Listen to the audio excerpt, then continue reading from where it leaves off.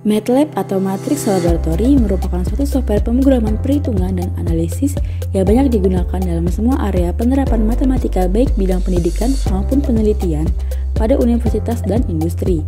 MATLAB memiliki perangkat grafik yang powerful dan dapat membuat gambar-gambar dalam dua dimensi dan tiga dimensi. Dalam hal pemrograman, MATLAB menggunakan bahasa yang serupa dengan bahasa C.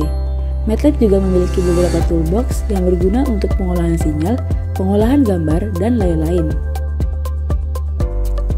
AutoCAD adalah satu aplikasi desain yang dibantu oleh komputer atau nama lainnya dikenal sebagai aplikasi CAD atau Computer Aided Design yang digunakan untuk mendesain atau penyusunan model dalam bentuk dua dimensi dan tiga dimensi. AutoCAD digunakan oleh insinyur sipil, land developers, arsitek, insinyur mesin, desainer interior, dan masih banyak lagi software lainnya.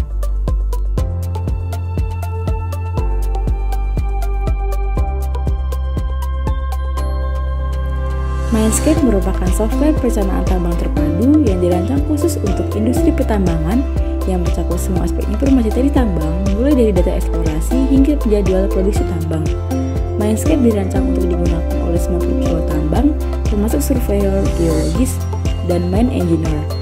Mindscape memiliki interface intuitif yang disebut sebagai Graphical Task Interface atau GTI. Interface tersebut menjadikan pekerjaan Anda lebih mudah dikerjakan sehingga lebih efisien dan mengurangi kebutuhan pelatihan.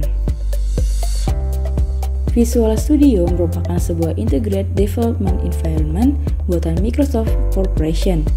Visual Studio dapat digunakan untuk mengembangkan aplikasi dalam native code ataupun managed code, serta untuk mengembangkan aplikasi Silverlight dan Windows Mobile. Visual Basic mencakup sebuah kode editor yang didukung oleh fitur IntelliSense atau yang disebut dengan code refactoring.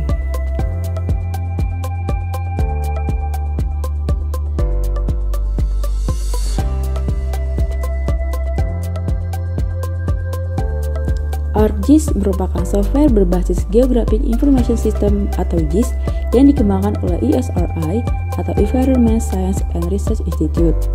Produk utama ArcGIS terdiri dari tiga komponen utama, yaitu ArcView, berfungsi sebagai pengelola data komprehensif, pemetaan, dan analisis.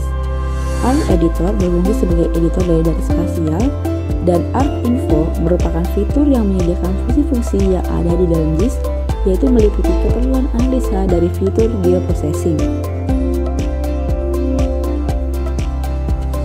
Survec merupakan salah satu software tambang analisis yang paling populer khususnya di dunia industri pertambangan yang menangani cakupan kerja di bidang eksplorasi maupun mining engineer dan tersebar hampir di 90 negara. Perangkat lunak ini memberikan efisiensi dan akurasi melalui kemudahan penggunaan 3D, grafis yang bagus, alur kerja otomatis, dan dapat disesuaikan dengan proses kerja, khususnya untuk perusahaan yang bergerak di industri pertambangan. SEP 2000 merupakan software yang digunakan untuk menganalisis bangunan dan telah dipakai secara luas di seluruh dunia. Program ini merupakan hasil penelitian dan pengembangan tim yang dipimpin oleh Profesor Edward L. Wilson dari University of California selama lebih dari 25 tahun. SEP 2000 dikembangkan berdasarkan program SEP pada sekitar tahun 1975. Sampai sekarang, program tersebut dikenal di dunia sebagai pionir di bidang software rekayasa struktur dan kegempaan.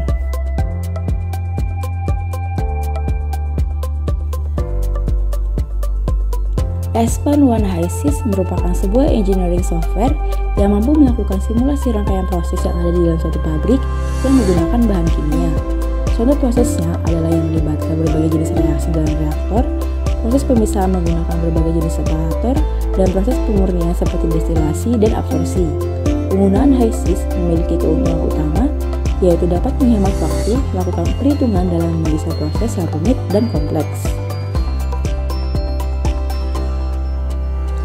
Plan 3D merupakan software komputer yang dikembangkan oleh Autodesk.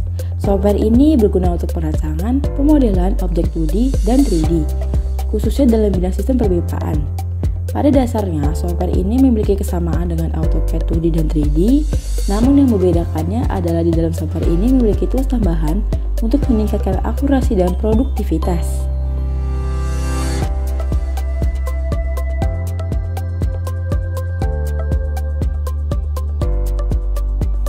E-Tabs merupakan program analisis struktur yang dikembangkan oleh perusahaan software CSI.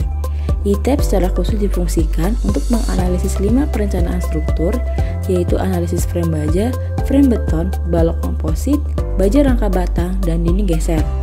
Penggunaan program ini untuk menganalisis struktur, terutama untuk bangunan tinggi, sangat tepat bagi perencanaan struktur karena ketepatan dari output yang dihasilkan dan efektif waktu dalam menganalisisnya.